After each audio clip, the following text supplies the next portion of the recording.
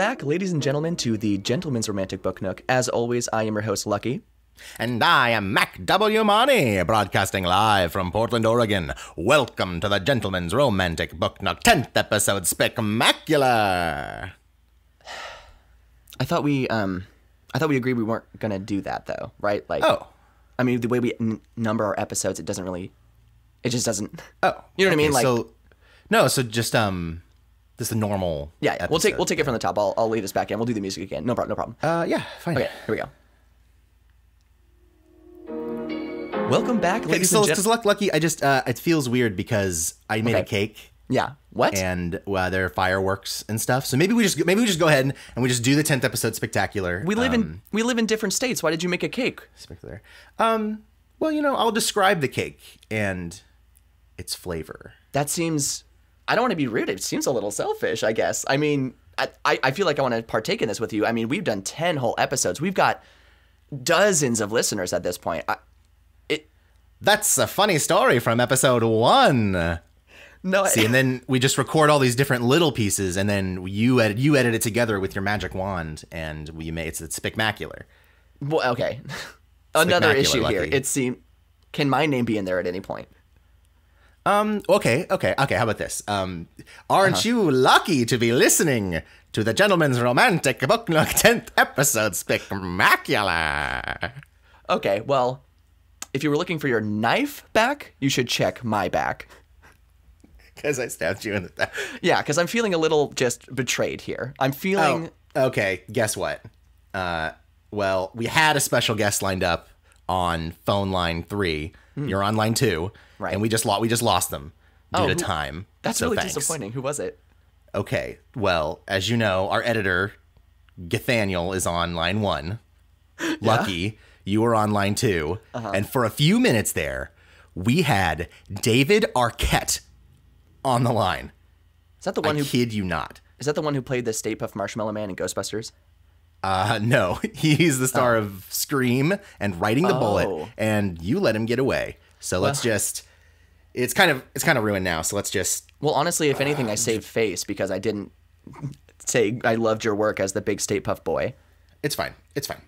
Uh, yeah, I'm done with the bit. So let's talk about the selection. Um, do you want to walk us through the story so far, Lucky? Of course, as always, I have written a short synopsis of what we've gotten through. Um, I always say get gotten through because a lot of our books so far have been challenging. This has not been a challenge. This has been quite the breezy read through.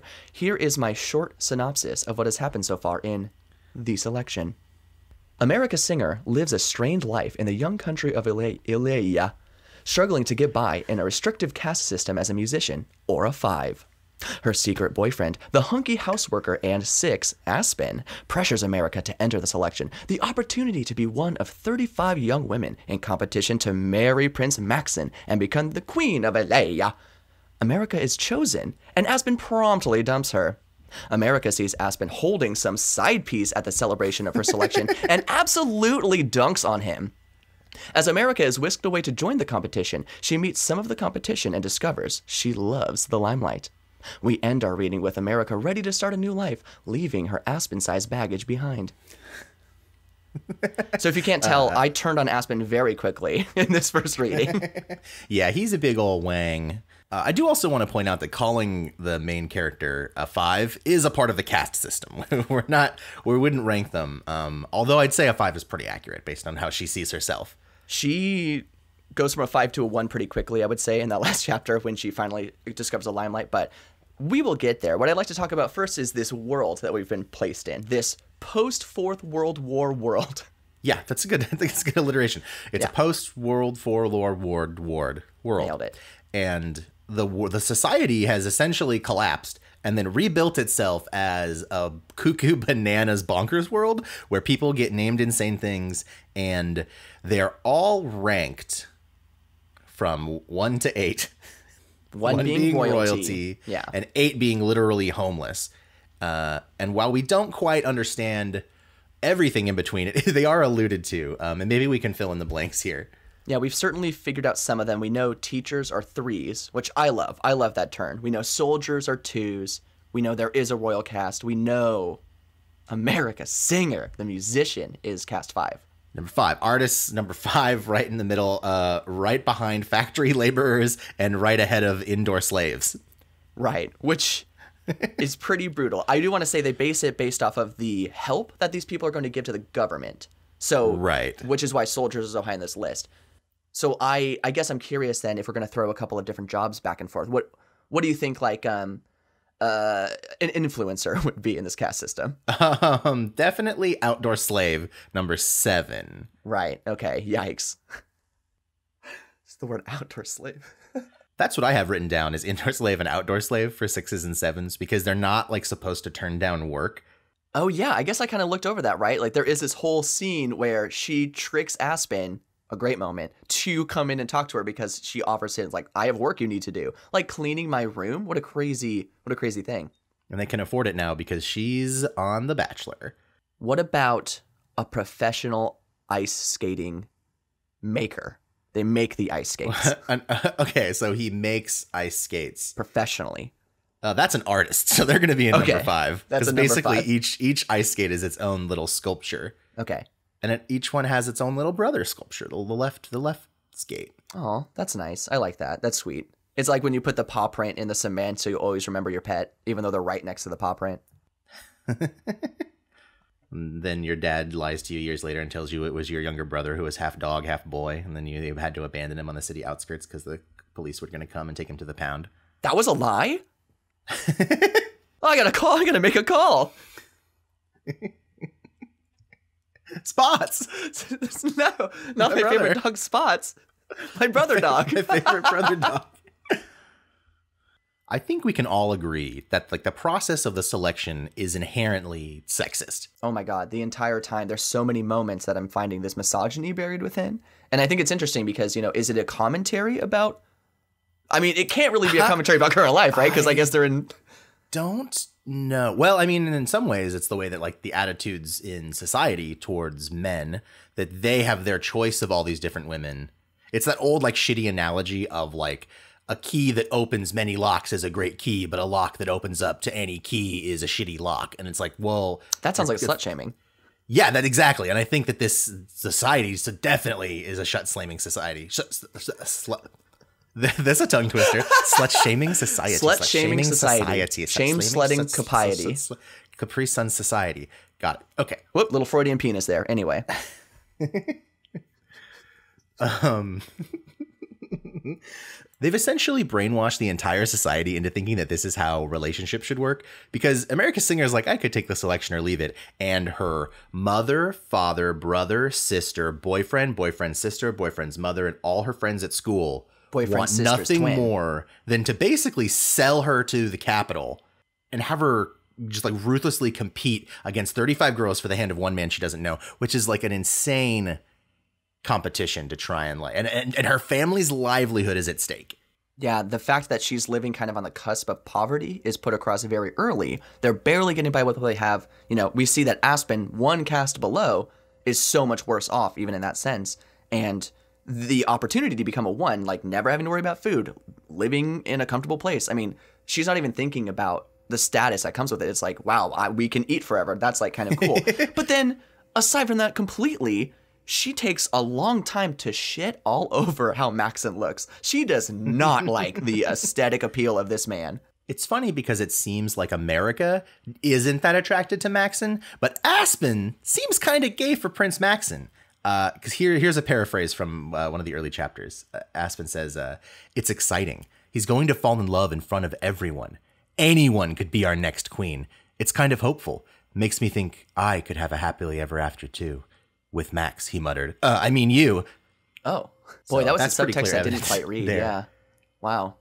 And then, like a scene later, we have America looking at Prince Max on TV, and she's like, "I guess he's handsome in his own way.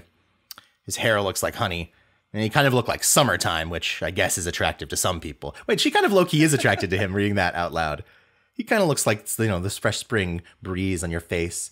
That's true. I guess I wasn't really reading that, that context there. It was like, he's fine, I guess, anyway. Like, just kind of shitting all over him because she's got so much gaga eyes for Aspen. But yeah, I guess she's saying that he's got that royal look. She does refer to him as like a stuck up dumperino, though. Well, it sounds like it wouldn't be such a great time to be stuck at the castle with him because when, uh, you know, obviously she gets all dolled up and puts her name in for the selection. And oh my God, it was such a twist when she got chosen for the selection. Uh, and then, like, the authorities come to tell her the rules. And one of the, like, understated rules about the selection is if Prince Maxon wants you to do something, you do it you got to give it up without fighting at all. And that, you know, she's talking about how sick it makes her, how terrible. She doesn't uh, fight it at all. She's just down pretty much. Yeah, she tells Aspen about this and he looks shocked and he's like, "What? Before marriage?" And it's like, "Well, dude, he's the the, the military is essentially forcing these 35 girls to come to the castle and fight for his hand and you're shocked that he might get frisky with one of them." It is incredible how The Bachelor has really permeated culture in such a way that in the future we will be basically living Bachelor style lives. Uh, and it's interesting that she describes Maxon in that way because she describes Aspen as tall, but not too tall, thin, but not too thin, smart, but not too smart, white, but not too white.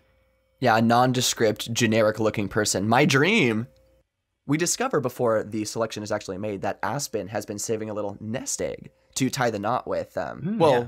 we think to tie the knot with America.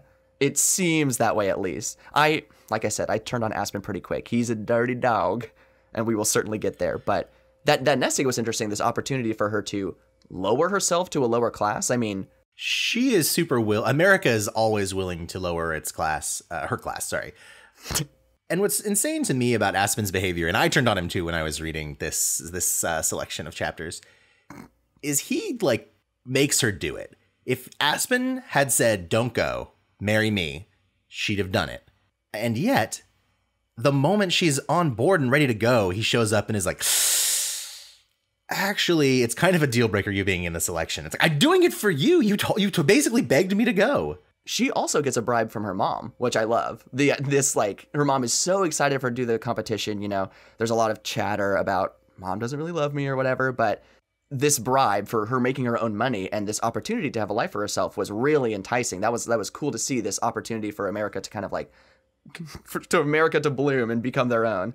Yeah, I just want to pop in about her mom and say that uh, I have a fan theory that mom is the mom's name.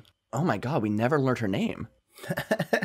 they might mention something later, but it's, it's definitely a mom is her name, dad is his name, and they call she calls her parents by their first names. It's either mom or it's United States of.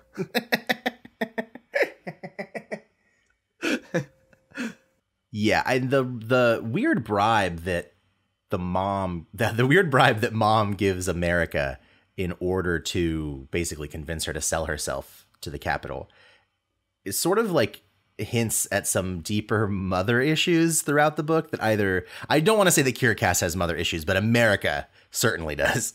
Because her mother as a character is super cold and distant and the dad is like super warm and intellectual and at, they really have a loveless marriage the parents do uh, because at one point the mom says lucky for me i got your father and then America's reaction to that statement is, wow, mom must be in a good mood. I couldn't remember the last time she was that affectionate towards dad.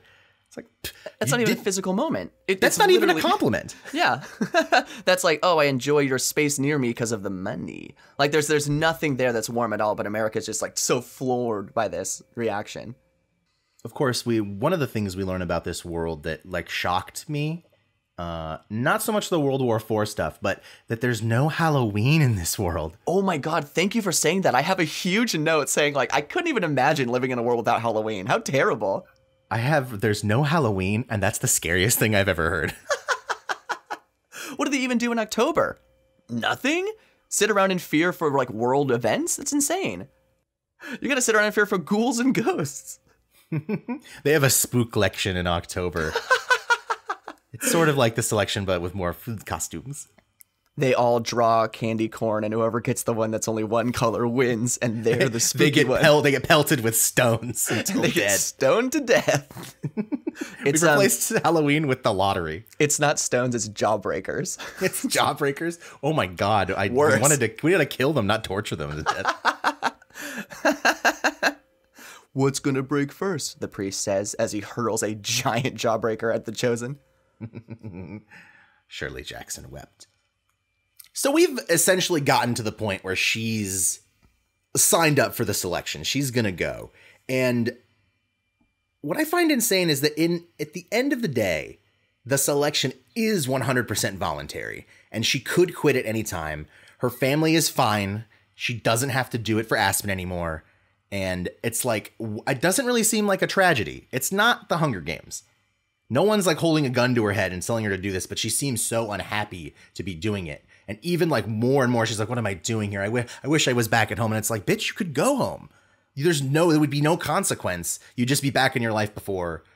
Yeah, there's some incredible family pressure being put on here. I feel like you know, obviously the bride, the Aspen stuff. You know, she doesn't want to do this at any point, but everyone in her life is telling her this is the right thing to do, and you know, it's just another option or another moment where somebody is getting to make their own choices based off of like family peer pressure, which I think is probably going to be a pretty regular trope in these romance novels.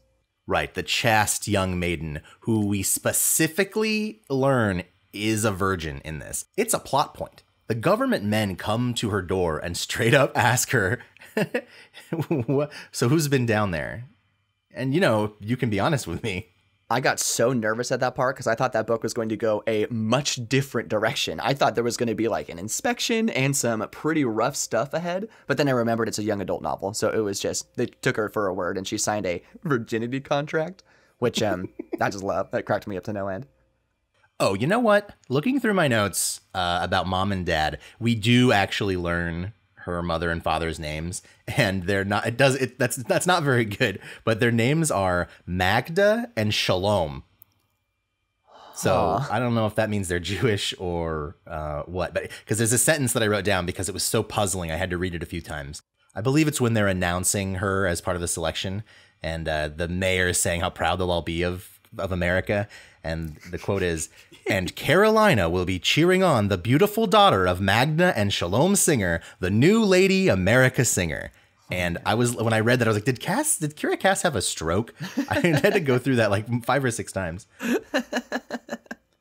Not a lot happens in this section of the book with regards to the selection, but we do get like a little hint of it. Lucky, do you want to walk us through sort of like those last moments in her hometown? And uh, my favorite part was this last chapter where she actually like gets to meet some of her competition and flies out. Um, do you want to take us through that? To get to that emotional point, she has to go through something um, that I would say w- is a pretty minor speed bump, like a, a nudge in the road. where um, Aspen has a bout of toxic masculinity for her making a kick-ass dinner for him and dumps her in a treehouse, which um, I guess she needed a drive at some What point. are you, to eight to years old, Aspen? My God. She he she makes like a kick-ass dinner for him, and he's like, I just can't do this. You're you're so overbearing. And then the next day, when she's having her moment, he's got his hands around another hussy during her big moment. Obviously, she's gonna see him. He's got her his hands around. That's right, a butler, and her name is Brianna Butler. Yes. A cast six named after their job, which we know is a general trope of this book. I'm so I'm over Aspen. Aspen more like ass kin for an ass kicking. Oh, he was Aspen for trouble, bringing her to the selection. This is it's insane to me. It's insane to me that this man has the gall and then runs up to her in the crowd like, "Oh, wait, America." Man, she gives him the cold shoulder. I'm so proud of our girl in this one. Wait, America! What was that chicken recipe you had that night? Because I know we were fighting, but it wasn't good, and I really want to make it for Ms. Butler. After you left after the breakup, I did go back and eat the rest of that food. It was I did, incredible. I did the next morning. I did climb up and eat the entire thing uh, like a squirrel, shoving it into my cheeks for later. But yes, that leads us into this moment of her finally becoming the America we know and love, and uh, having this having an airplane ride for the first time and meeting a couple of the other women in our selection. So America gets on the plane and meets her competition for the first time, and it's literally like a nice one, a neutral one, and then w- the last one's meant to be kind of a bitch, but I don't really see that. It seems like some fabricated drama in my mind.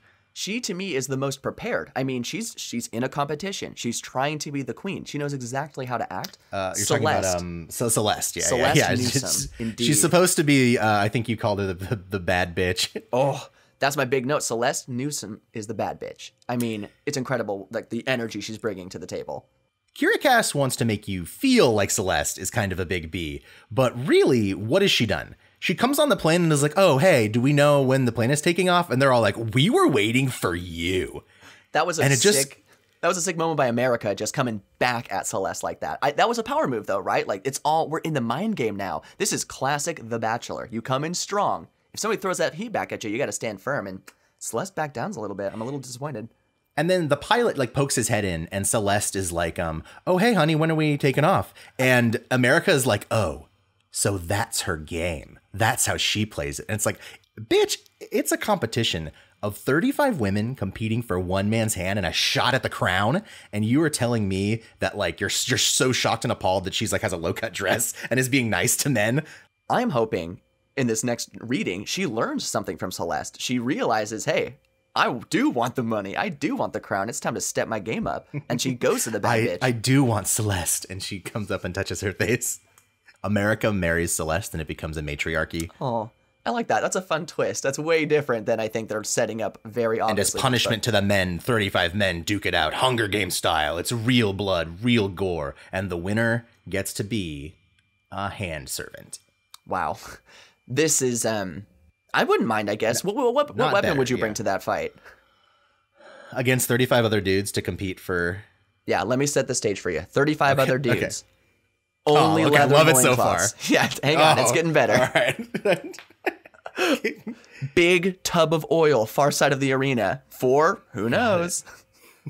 End of setup. What weapon would you take? There's already a bunch of lube. so. You can use oil for anything. I mean, it's up to you. poison. Interesting. How would you utilize the poison? Would you seduce all of the men? I would into do. the Yeah, I would do like. um. Did you ever see uh, Batman and Robin? Of course. I would do the Uma Thurman uh, poisonous lips.